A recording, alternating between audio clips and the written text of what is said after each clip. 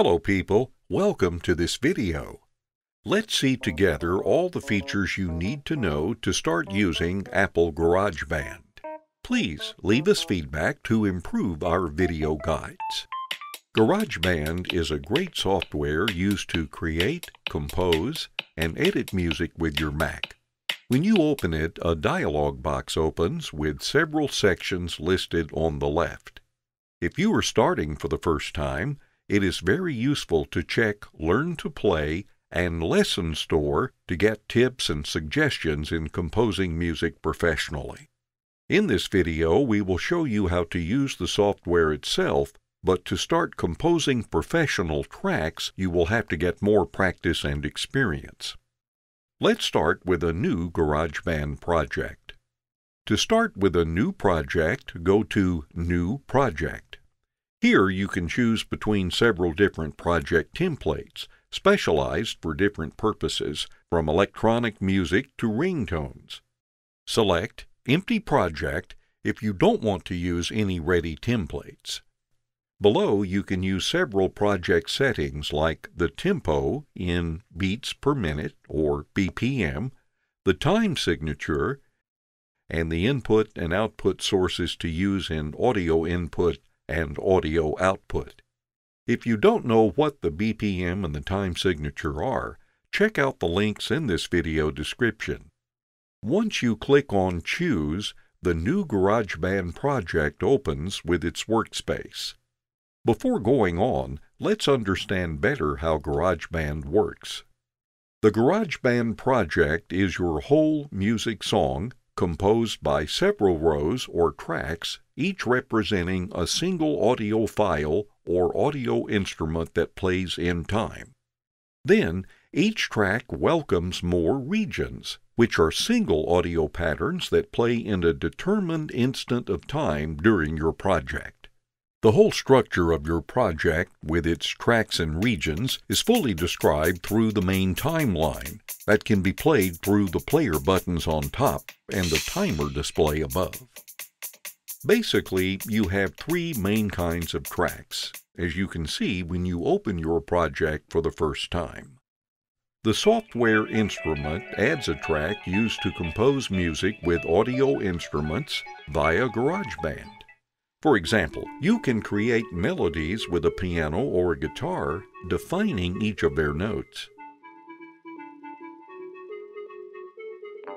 Audio adds an audio track used to record any voice by using a microphone or any audio instrument connected to your Mac. Then you have the drummers, these are tracks used to create percussions and beats that give rhythm to your overall project song. The first time you open your new project, you have to choose either of these three in order to create the first track inside your project timeline. At this point, your new project opens. If you ever need help about functions and features inside GarageBand, enable the Quick Help through the second button in the top left corner. This opens a small dialog box that describes the button you are actually hovering over with your mouse. Let's now see each of these different tracks inside GarageBand. Software instruments are used to compose music, note by note, directly through GarageBand instead of using a real instrument.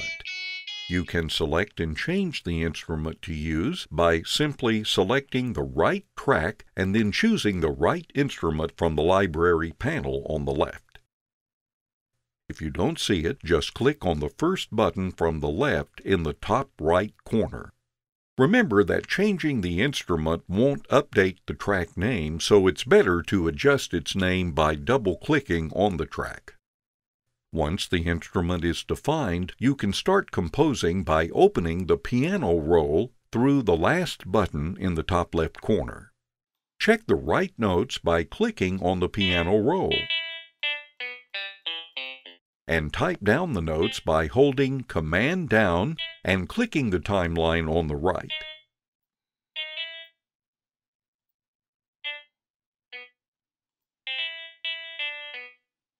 You can also move each note by clicking and dragging them in order to change the tone or their position in time.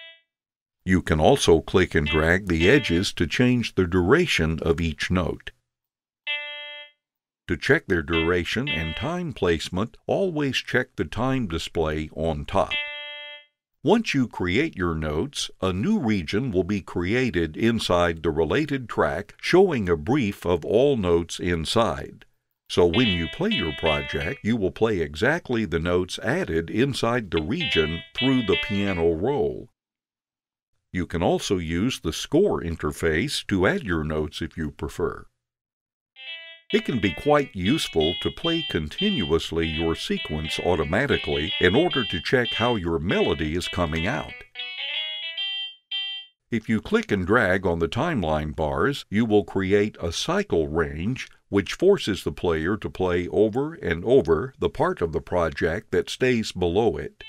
You can enable and disable the cycle loop by clicking on the cycle button above. If you don't like your melody, you can delete any note or region by selecting and using the backspace key. Whereas, if you need to repeat a basic melody over and over, you can click and drag the edges of a region to loop it in time. If you click and drag the edges more at the bottom, you will extend the region over time without looping its content. If you want to make copies of the same region, just click and drag it while holding Alt down. Besides composing the notes for the software instrument track, you can also adjust the settings for the instrument itself. If you click on the third button in the top left corner, the Controls panel opens, which you can use to adjust the instrument tone and sound. Furthermore, under EQ, you can apply audio filters on different frequencies in order to adjust the sound output. Let's see the drummer tracks. You can add new tracks clicking on the plus button on top, selecting the kind of track. The drummer tracks are used to create beats and percussions with a combination of kicks, snares, or cymbals that are automatically set according to the settings of the editor panel at the bottom. In fact, differently from the software instrument track seen before, you don't have any piano roll, but an editor that allows you to choose the kind of percussions to use, the general style, and the kind of rhythm. Apart from this, you still have the controls, the EQ panel, and the library panel to change the percussions to use. The editor panel does not create regions with notes in the project timeline. It creates audio waveforms continuous in time and contained again inside regions. Percussions are played in order to create a region that can be looped with no problems. Even more, if you extend a region, the percussions will play differently in order to cover the new time duration. If you want to create a completely personalized percussion, you have to use a software instrument track with a drum kit instrument chosen from the library panel. Then, through its piano roll, you can play the different percussions by fixing different notes. There are also the audio tracks. These tracks welcome audio waveforms, so everything that must not be composed, such as audio files, ready to use for any recorded speech or music. To import any audio file, just click and drag it on your timeline directly. This will be contained inside an audio track through a unique region you can adjust it and add effects on it by using the Controls panel and the EQ. If you need to record from your microphone or any external instrument, you have to create a new audio track inside the project and use the record button on the main bar on top. When you click on it, after a short countdown, you will start recording on your audio track from the actual placement of the playhead until you click again on the Record button. The recording will be collected as a continuous audio waveform inside a unique region. The recording will be made with the audio input device specified in the project preferences that you can check by going to GarageBand and then to Preferences. Inside Input Device. Also for audio tracks, you have the controls and the EQ. Beside each track, you have several useful options. Use the volume bar to adjust the track volume, or the pan knob to adjust balance between the left and the right stereo channels. Under the track name, you have two other buttons. The first one is used to mute the track. The second one is used to play the track solo with all other tracks muted. Let's see how to save and render your project. To save, just go to File and then to Save As. This will save your project file in order to save your progress and open it anytime by going to the Recent section when opening GarageBand.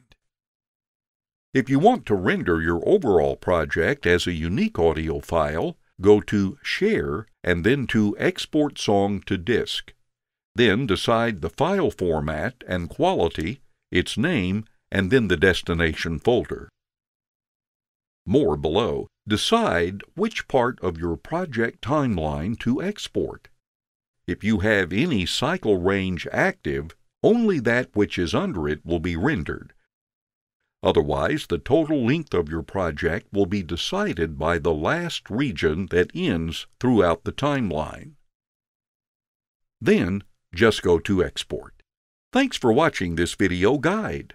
Check out our channel for more amazing video tutorials for Mac and Windows.